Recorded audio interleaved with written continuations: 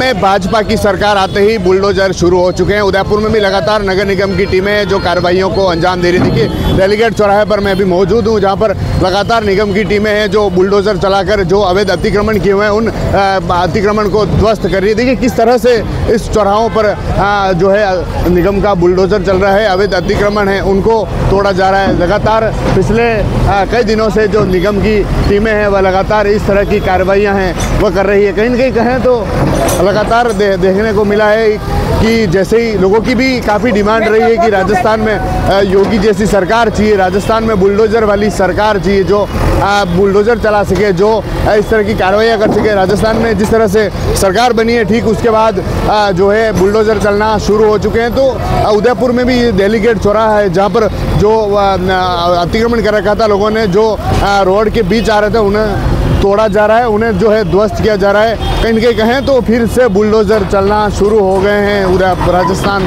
कुछ लोगों से भी हम बात करेंगे कि किस तरह की जो व्यवस्था है, किस तरह लोग चाहते हैं, क्या सोचते हैं लोग इन पर इन पर लोगों से बात करेंगे, क्या कहते हैं। ओ जी, बुलडोज़र चलने शुरू हो गए हैं।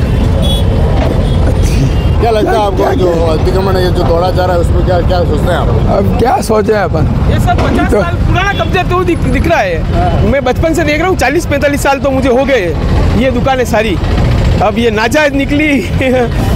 अच्छी बात है। तो ऐसा कब्जा नहीं होना चाहिए।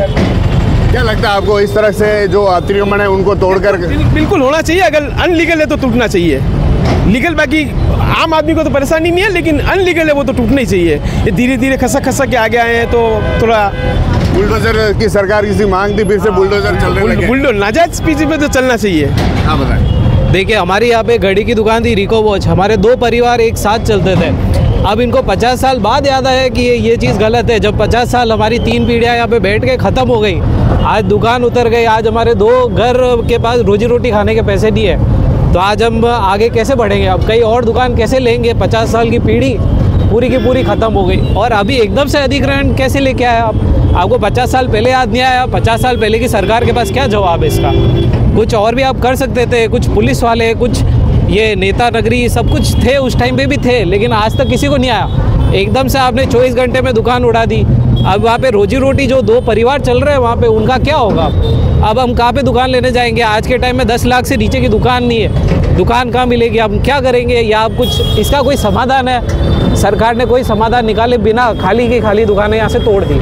अब इसके आगे क्या हो सकता है बताइए। पचास साल पुरानी कहते हैं ना? ये पैंतालीस पचास साल से मैं देख रहा हूँ। अगर ये कोई मकान मालिक किराएदार कोई कब्जा कर लेता है पच्चीस तीस साल का तो वो उसका हक बन जाता है। ये पचास साल पुराना तो अभी याद आ रहे हैं ये भी थोड़ा बिल्कुल सही है भैया का।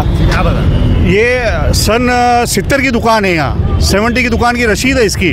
और एकाएक आते ही उन्होंने तोड़ दी। ये बहुत गलत किया है बहुत गलत किया है। इनको कहीं ना कहीं आगे जगह देनी चाहिए कुछ करना चाहिए कुछ बातचीत करनी चाहिए कुछ विचार होना चाहिए इनका।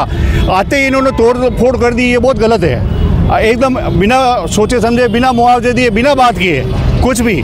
खाली नोटिस दिया 24 घंटे का नोटिस दिया और उसमें आके तोड़ दिया इन्होंने।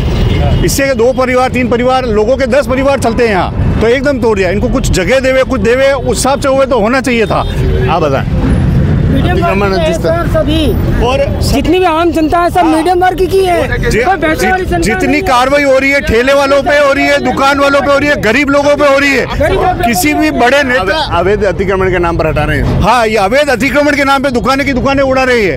बिना बिना सोचे समझे। और बड़े किसी भी नेता नगरी के, किसी के भी कोई बड़ा अतिक्रमण नहीं हटाया गया आज। ये सब छोटे लोगों, छोटे ठेले वालों, इनके ऊपर हटाया गया है। देखिए, कहीं ना कहीं कहें तो लोगों में भी काफ़ी विरोध है। जिस तरह से देखने को मिला है लगातार जो निगम की टीमें हैं, इस तरह की जो कार्रवाई है, उनको अंजाम दे रही देखिए, एक बार फिर से तस्वीर दिखाता हूँ, बुलडोजर चल चुके हैं। फिर से जैसे ही राजस्थान में भाजपा की सरकार आई है, जो अवैध अतिक्रमण है, उनको ध्वस्त करना शुरू कर दिया है। लगातार हैं, जो बुलडोजर हैं, जो चल रहे हैं, लगातार हैं, जो कार्रवाई यहाँ होती जा रही है, जो बोटल नैक है, उनको सही किया जा रहा है। जहाँ पर, क्योंकि उदयपुर है, जो पर्यटन नगरी है, जहाँ पर लोग पर्यटन आते हैं, उनको जाम से निजात दिलाने की बात जो है, निगम कर रही है। और इस तरह के जो अतिक्रमण है, उनको ध्वस्त कर, जो फिर से बुलडोज़र है, उनको चलाकर फिर से जो रोड है, उनको साफ़ किया जा रहा है, सही किया जा रहा है, और बोटल नैक है, उनको खुला खोला जा रहा है टीवी नाइन के लिए राजेश डांगी।